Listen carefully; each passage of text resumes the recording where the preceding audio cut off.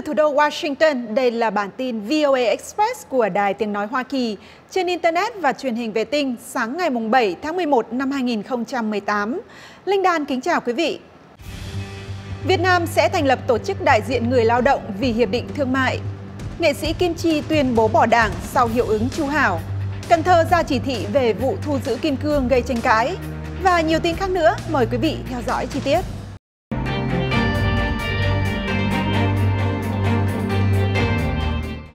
Các nhà làm luật Việt Nam đang bàn đến khả năng thành lập tổ chức đại diện người lao động bên cạnh tổ chức công đoàn nhà nước để phù hợp theo hiệp định thương mại có tên gọi Hiệp định Đối tác Toàn diện và Tiến bộ Xuyên Thái Bình Dương, gọi tắt tiếng Anh là CPTPP.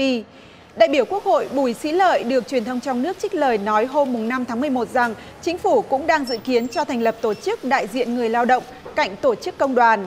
Ông Lợi nhấn mạnh đây là một tổ chức không mang màu sắc chính trị, chủ yếu bảo vệ quyền lợi hợp pháp và quan hệ lao động và không có các hành động khác liên quan đến chính trị.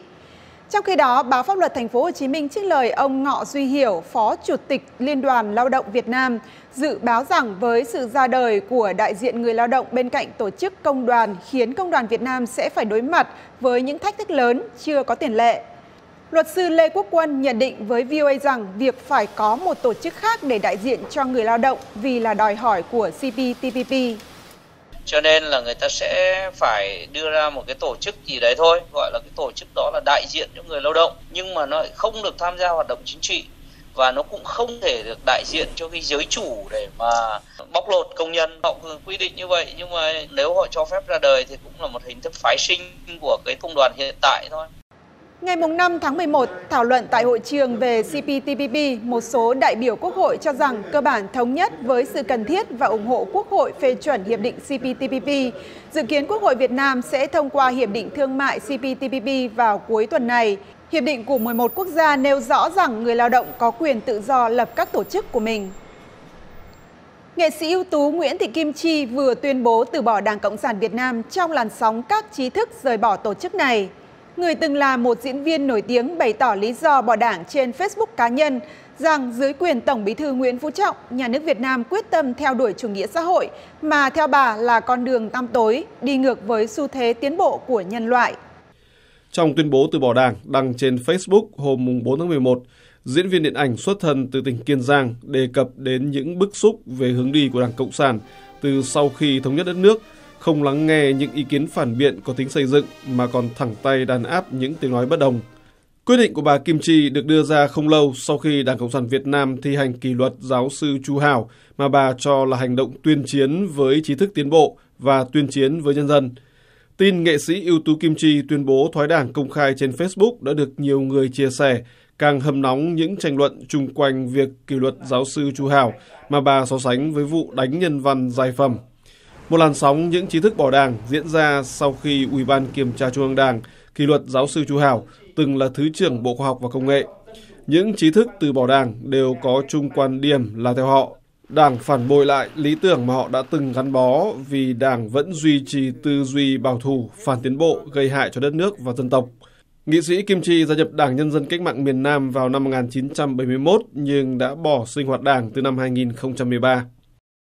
Một lãnh đạo chính quyền Cần Thơ hôm 6 tháng 11 chỉ thị cấp dưới trả lại kim cương, trang sức thu giữ từ một tiệm vàng trong thành phố, đồng thời miễn một phần tiền phạt đối với tiệm vàng này, theo báo chí Việt Nam.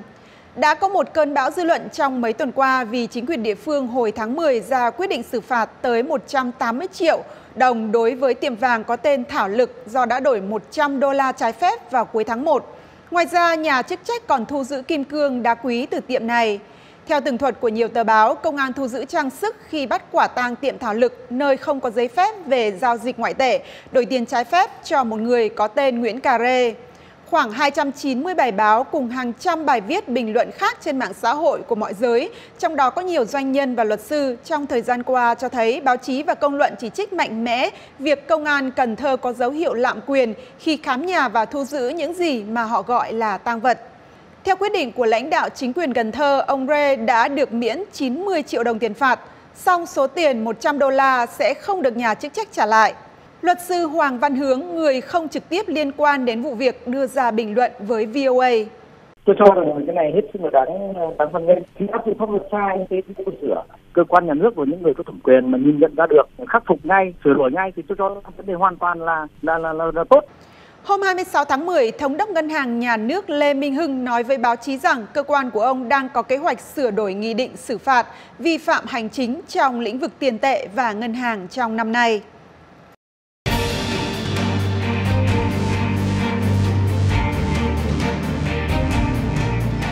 Và sau đây mời quý vị theo dõi phần tin quốc tế.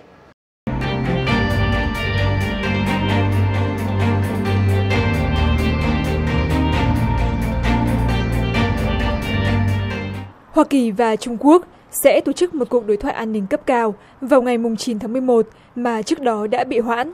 Trong khi đó, Phó Chủ tịch Trung Quốc nói Bắc Kinh sẵn sàng đàm phán với Washington để giải quyết tranh chấp thương mại giữa hai nước.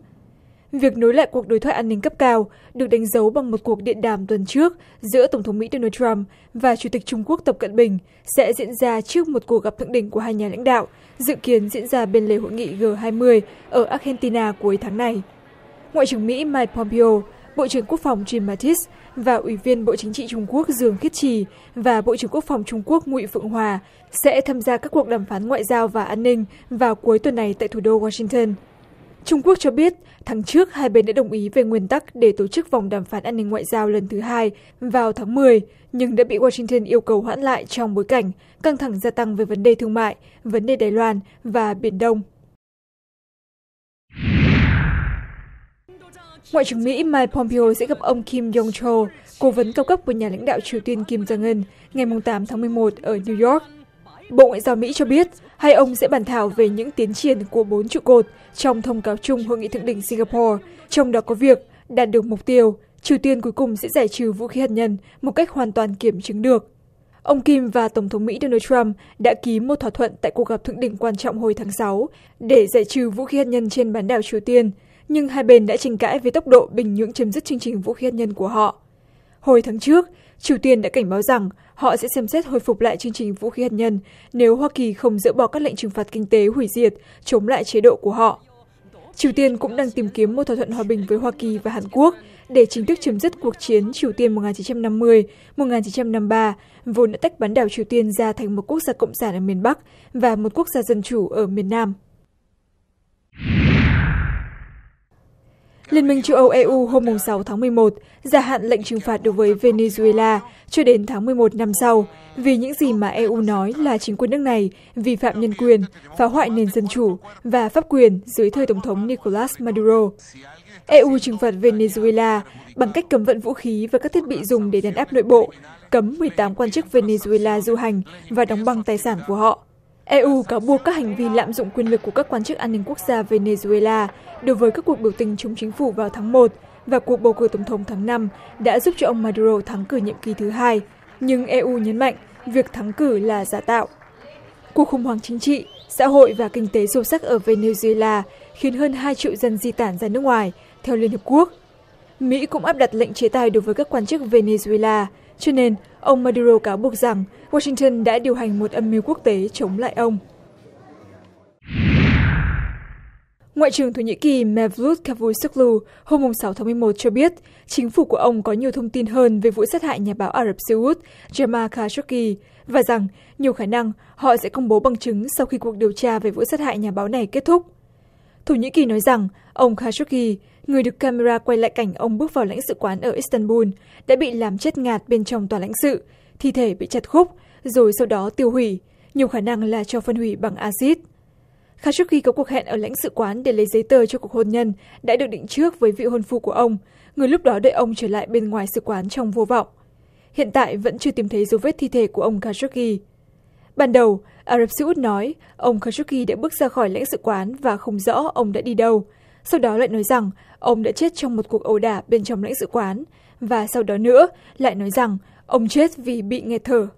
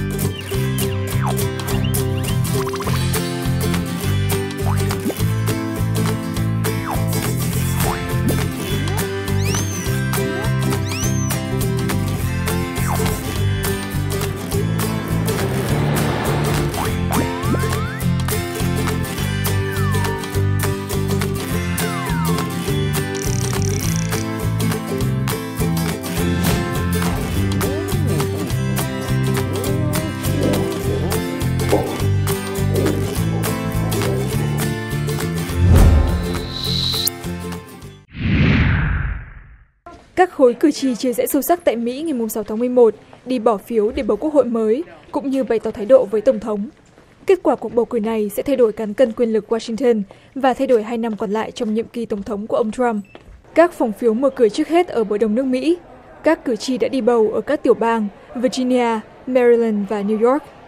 Toàn bộ 435 ghế hạ viện sẽ được bầu lại, cùng với 35 trong tổng số 100 ghế ở Thượng viện và 36 trong tổng số 50 ghế thống đốc bang.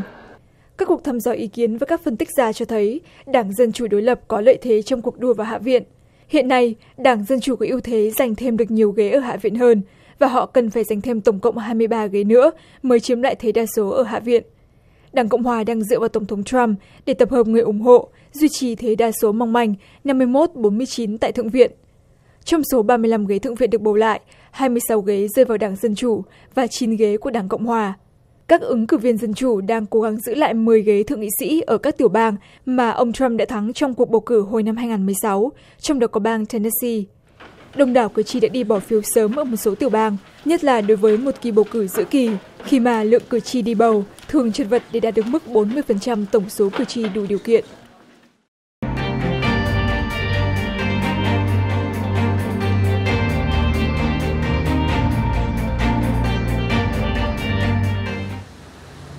Nam California có lẽ chưa bao giờ một cuộc bầu cử giữa nhiệm kỳ ở Mỹ lại được cộng đồng người gốc Việt tại đây dành nhiều sự chú ý như cuộc bầu cử năm nay.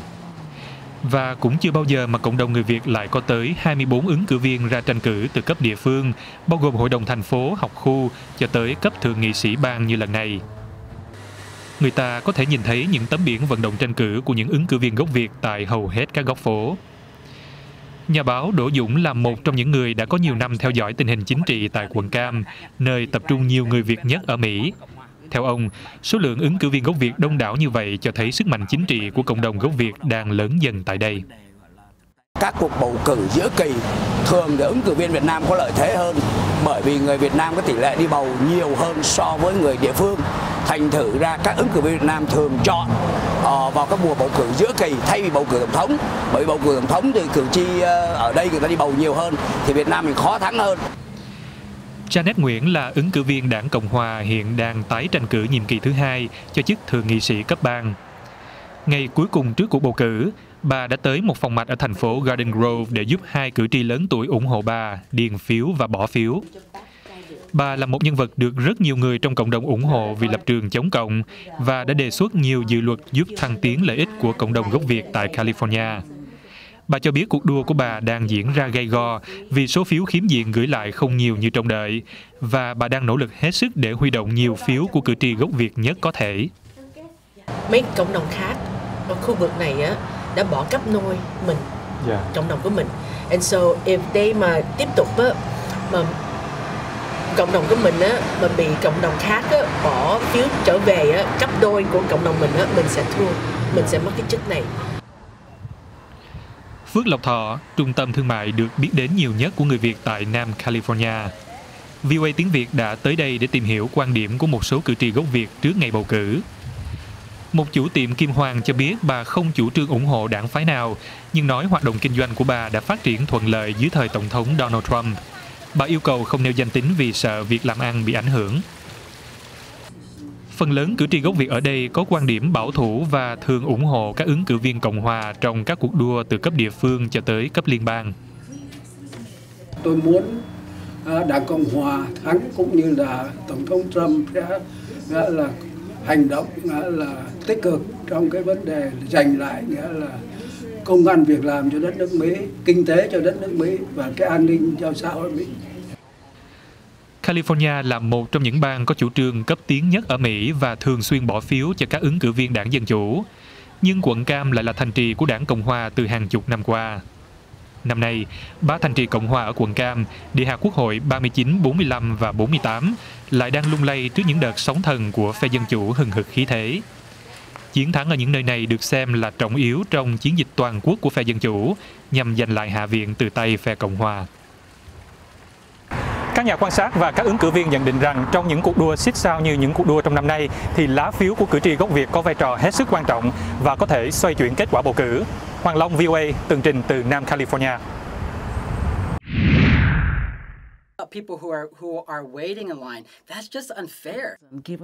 Với môi trường hoàn cảnh như hiện tại, thì mọi người đều chú ý tới cuộc bầu cử. Pamela Ann Chang là người gốc Cameroon.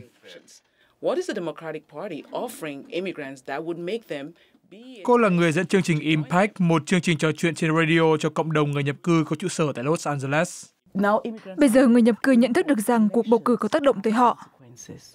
Những cuộc bầu cử giữa kỳ trước đây cũng không phải là vấn đề đáng quan tâm đối với La Opinion, tờ nhật báo tiếng Tây Ban Nha ở Los Angeles, nhưng năm nay. Hoàn toàn khác và chỉ do một từ thôi, Trump. Điều này giống như một trận động đất, một trận động đất chính trị đối với nhiều người Latin. Trang web tiếng Tây Ban Nha của tờ nhật báo này tràn ngập các tin tức về trục xuất, tạm giữ và các vụ bắt giữ bởi các cơ quan di trú Hoa Kỳ. Trump, Trump tự biến mình thành đối thủ kể từ khi bắt đầu chiến dịch tranh cử và ông xác định rằng những người nhập cư Mexico là tội phạm, là những kẻ hiếp dâm. Điều này tạo ra rất nhiều phản ứng mạnh mẽ chống lại Trump.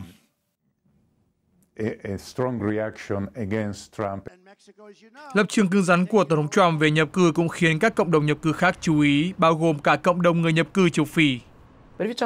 Nếu bạn nói về cách nó ảnh hưởng đến mỗi cá nhân, họ chú ý điều gì thực sự quan trọng đối với người châu Phi, chăm sóc sức khỏe và được hợp pháp hóa. Chúng tôi có rất nhiều người châu Phi không có giấy tờ. Trong khi Đảng Dân Chủ được ủng hộ để kiểm soát Quốc hội, Đảng Cộng Hòa vẫn có thể xoay sở để tiếp tục nắm đa số. Rất có thể kết quả của các cuộc bầu cử giữa kỳ lần này sẽ lại là một cuộc bỏ phiếu tín nhiệm Tổng thống Trump. Vincent Chang với tờ báo tiếng Trung World Journal nói rằng tờ báo của ông sẽ tập trung vào các vấn đề như cải cách thuế, nền kinh tế và tất nhiên là tình trạng nhập cư. Và giống như nhiều tờ báo phục vụ người nhập cư từ Tây Ban Nha và Trung Quốc, các tờ báo tiếng Việt tại Hoa Kỳ cũng sẽ tập trung vào bầu cử ở địa phương và các ứng cử viên liên bang từ các nhóm sắc tộc của họ. Dũng Đỗ của tờ Nhật báo Người Việt cho biết cộng đồng của ông có thể có lợi thế trong cuộc bầu cử giữa kỳ này khi cử tri Mỹ có xu hướng ít đi bầu cử hơn so với tổng thể. Trong lịch sử, các ứng cử viên Việt Nam thường thành công trong các cuộc bầu cử giữa kỳ, bởi lúc đó các cử tri Mỹ ít đi bỏ phiếu hơn so với Việt Nam. Và rõ ràng, việc thúc đẩy những cộng đồng như vậy có thể là giải pháp cân bằng quyền lực trong tháng 11 này.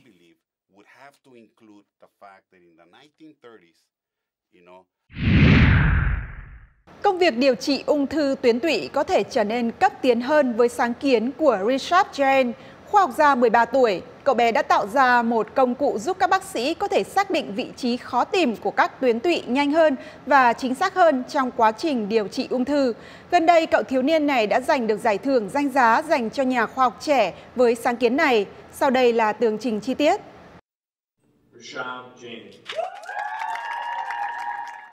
Rishabh Jain từ Portland, Oregon, gần đây giành được giải thưởng Discovery Education 3M dành cho các nhà khoa học trẻ bằng việc tạo ra một thuật toán sử dụng trí thông minh nhân tạo để cải thiện phương pháp điều trị ung thư tuyến tụy. Cậu nói trong quá trình xạ trị, công cụ này có thể tìm thấy tuyến tụy nhanh hơn và chính xác hơn.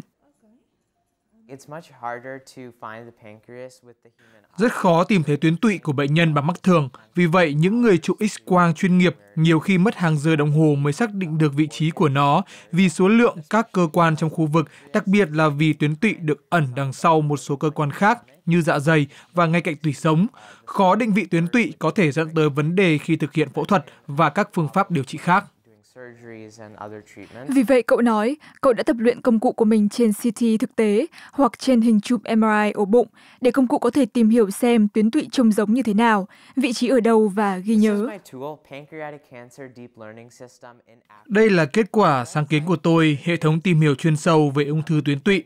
Ở bên phải đây là hình chụp CT khoang bụng của bệnh nhân và trong các chu kỳ thở và cử động của tuyến tụy, thật khó để xác định chính xác vị trí của nó. Và ở phía bên trái là tuyến tụy được trí tuệ nhân tạo GUI, giao diện dùng đồ họa của tôi xác định. Vì vậy, trong quá trình xạ trị theo hình ảnh chụp MRI, bác sĩ có thể sử dụng công cụ của tôi để biết chính xác vị trí tuyến tụy. Từ đó họ có thể sử dụng bức xạ một cách hiệu quả hơn, giảm việc làm hại tới các tế bào hoặc cơ quan khỏe mạnh khác. Ung thư tuyến tụy tương đối hiếm nhưng thường gây tử vong.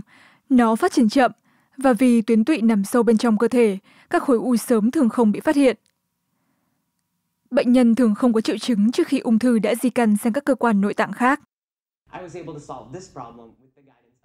Jane định dùng số tiền thưởng 25.000 đô la của mình để phát triển công cụ từ một kiểu mẫu thành một mô hình khả thi và hy vọng sẽ có ngày hợp tác với các bệnh viện và công ty để thương mại hóa sản phẩm này đưa vào sử dụng cho công chúng.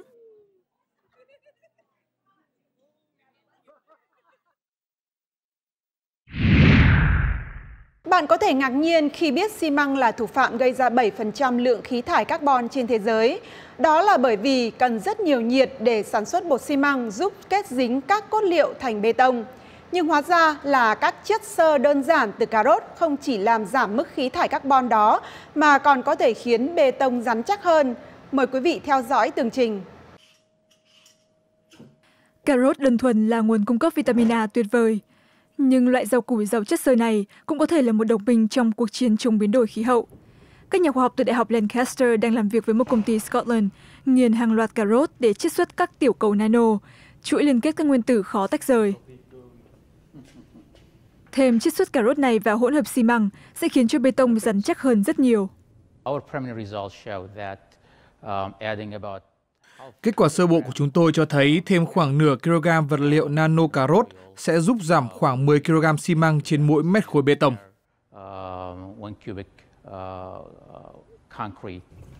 Các tiểu cầu nano làm tăng lượng canxi silicat hydrate trong bê tông, khiến bê tông rắn chắc.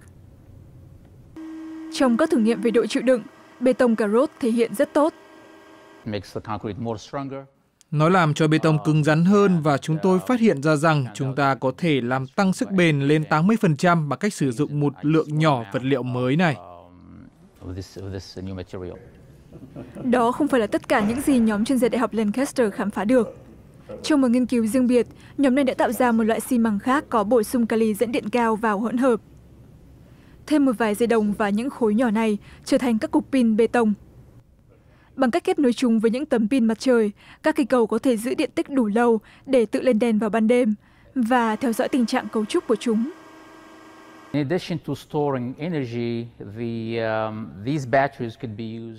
Ngoài việc tích trữ năng lượng, những khối pin này có thể được dùng như các cảm biến tự động. Về cơ bản, bạn có thể xây chúng thành một kiến trúc như cầu hoặc tua bin gió để phát hiện các vết nứt do gió hoặc tình trạng giao thông đông đúc trên cầu gây ra.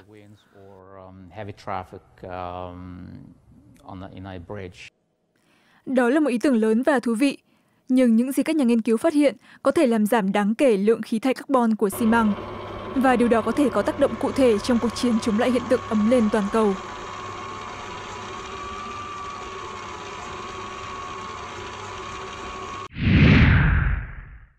Tiếp theo đây, mời quý vị theo dõi chương trình học tiếng Anh của đài VOA.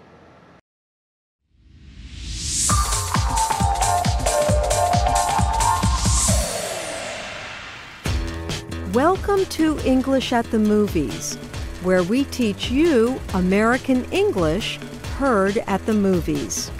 Our saying today is wait for backup.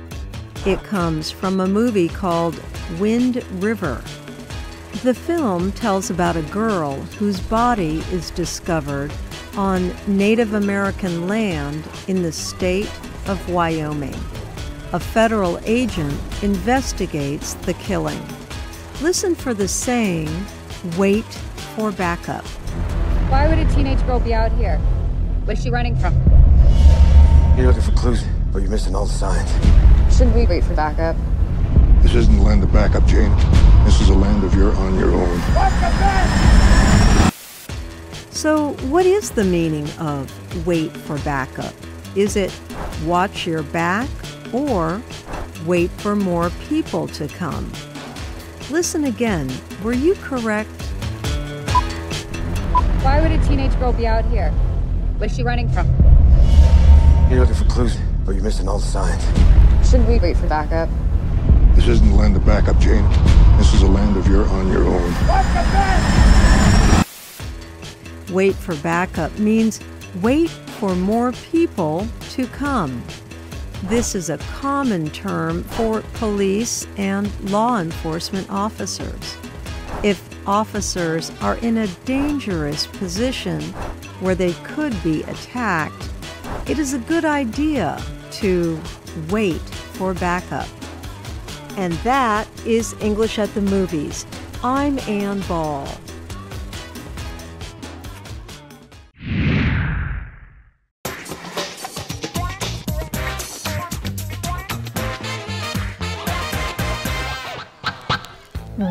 Is Everyday Grammar. I'm Lucia. And I'm Kave. You know, when we are preparing our shows, the first thing we do is come up with a subject. That's right. Today's subject is commonly used nouns. The second thing we do is research the subject. Then write a script. And afterwards, have a producer review it. The last thing we do is film the show. Yeah, because the last thing we want is to be unprepared. Or not clear. So let's talk about the commonly used noun thing. The noun thing can suggest an object, but thing also has several other meanings. Thing can mean an activity or event. When we are preparing our episode, the first thing we do is come up with a subject. Thing can also suggest a statement or some kind of communication. The last thing he said was that the project was delayed. The last thing I heard was that Mary arrived in Rome. Thing can also refer to a general situation. Here, the speaker will give a general opinion about a situation by using an adjective. It's a good thing you brought that umbrella. It's supposed to rain today. All the different meanings of thing can be difficult to learn and use. But the most important thing is to not give up. And that's everyday grammar. Bạn đã xem webcast, nghe đài và đọc tin tức với VOA tiếng Việt. Giờ bạn có thể xem tất cả các nội dung trên với ứng dụng di động mới, tiện lợi và nhanh gọn. Đặc biệt, ứng dụng sẽ tự động cập nhật tin nóng và cho bạn gửi trực tiếp video, hình ảnh, âm thanh đến cho chúng tôi. Với điện thoại di động hay máy tính bảng, iOS hay Android, bạn đều có thể thoải mái dùng ứng dụng. Còn chờ gì nữa, hãy tải ngay ứng dụng VOA tiếng Việt, hoàn toàn miễn phí Cảm ơn quý vị đã theo dõi chương trình VOA Express của Đài Tiếng Nói Hoa Kỳ. Ngoài trang tin voa tiếng Việt.com, quý vị cũng có thể theo dõi VOA trên Facebook VOA tiếng Việt, YouTube VOA tiếng Việt Video, Instagram VOA tiếng Việt hoặc qua các thiết bị di động với ứng dụng VOA miễn phí trên iTunes Store và Google Play. Để nhận tất cả thông báo video mới nhất trên kênh YouTube của chúng tôi, sau khi nhấn đăng ký subscribe, quý vị hãy nhấn vào hình chuông bên góc phải ngay dưới video. Muốn đóng góp hình ảnh, video, bài viết cho VOA Việt ngữ, xin gửi về địa chỉ voa bạn làm báo a gmail.com. Linh Đan xin hẹn gặp lại quý vị trong bản tin lần sau.